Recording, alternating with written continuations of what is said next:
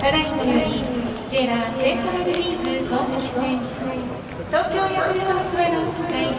中日ドラゴンズ第20回戦の予定スターティングラインナップのアンパイアをお知らせいたします先攻のドラゴンズ1番ションド強打2番ションド強打背番号